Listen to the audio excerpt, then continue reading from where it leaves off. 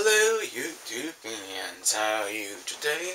Well, thank you for tuning in today's blog. If you're wondering what I'm doing today, I want to talk to you about iTunes of the issues I'm having with the software on a Windows 7 laptop computer. Now, this is a known laptop. This is the extra one I have here. This is a HP G71 computer. I just freshly installed Windows on this machine and freshly put iTunes on this machine as well. And it actually works perfectly fine. But the one thing I ain't been having a lot of issues with is actual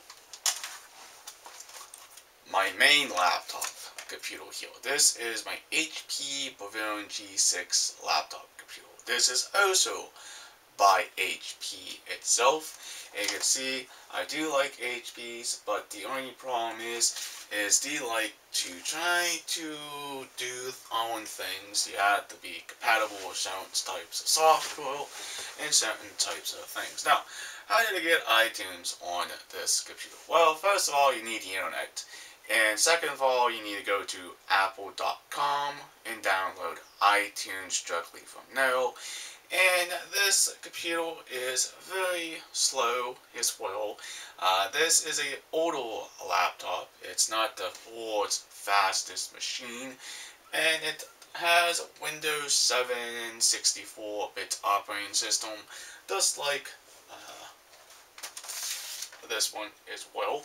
But the issue I run into with iTunes is sometimes the iTunes program and software doesn't want to work on my computer. I don't know why. I think it's something that's going on with the software, or is it something going on with the actual computer itself? Now, when you have an iPod, iPhone, or iPad, it's the iPod Touch third generation, what what's going to happen is you plug this into a fresh install of iTunes. You're going to lose everything off of this device like your apps, your music, your videos, your games, your pictures, uh, whatever you have on this will no longer work on the fresh install of iTunes because I actually have two iPod touches because I use two different ones. I have the fifth generation, and I have the third one. These are very good to have. These are very uh, good to listen to music and also do a lot of things. Now, this is my secondary one. This is my main one. This is the one I use mostly all the time because of a couple of issues with this one. But this is a good iPod Touch as well. But let's go ahead, uh, wake this up, and show you what I mean, what's going on. Let's just hit anything to turn on or wake up, I guess. But, with the music collection I have, this hard drive and this computer ain't big enough for the music I have, and I listen to a lot of my music. Definitely when I'm at work, or here I'm at home, or even if I'm outside, or going places I just like listening to my tunes. Now this is iTunes. This is what you're going to get. Now, if you're wondering what I'm actually uh, I'm going to minimize this. There was the Windows logo right there. This is a Windows machine. Now, what type of computer you prefer to use? Mac or Windows? That's up to you. You figure the information out yourself. But what happens when we connect this to this secondary computer? Well, it's going to erase everything. It's going to take everything out.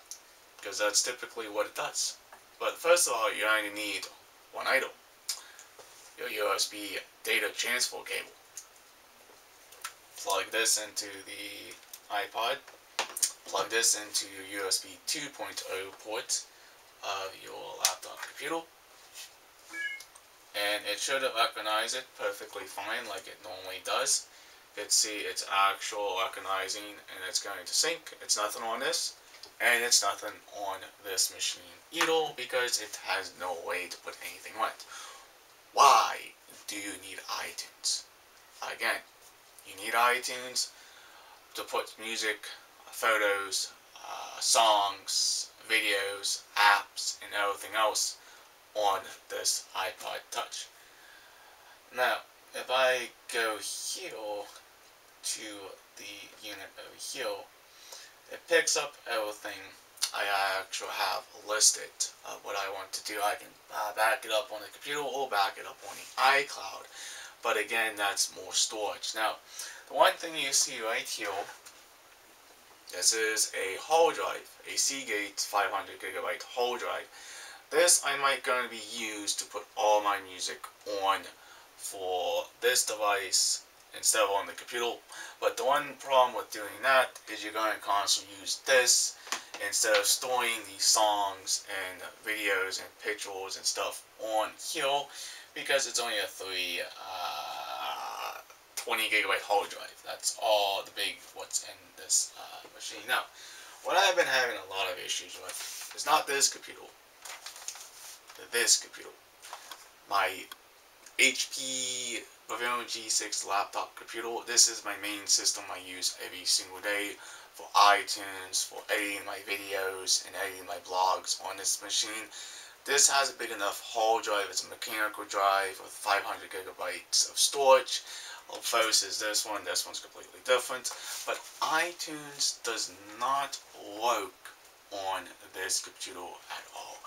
I just do not know why it doesn't. I don't understand what the actual issue is. But yes, I installed iTunes directly on this one just to do a experiment and see what actually happens when you do all sorts of different iTunes. Now, the best way to keep your iTunes from crashing or from doing updates, just ignore the updates. Do not do them. If you want to update it, that's completely fine. That would be worth it. And secondly, I am not going to be plugging this iPod into this computer because I'm going to have these two iPods completely separated off of iTunes completely. But when you have iCloud backup, it's very easy to back up everything from the cloud, dump it back on your iPod. But that takes up a lot of data and that takes up a lot of Wi-Fi and a lot of time to actually do it through the wireless. That's why you use your cord to transfer all your files from your main iTunes directly to your iPod Touch. Alright, now if you are brand new to this channel, please hit that subscribe button, leave a comment down below. I want to know your opinions of what computer I should get, a Mac or a PC. I want to know if you have the exact same issue with iTunes on a PC instead of a Mac. Please like, please share, peace out, bye girls and guys. We'll hopefully see you in the next vlog. Thank you for watching and thank you for tuning in. Try to help is the best I can with you guys and girls. Thank you a whole lot.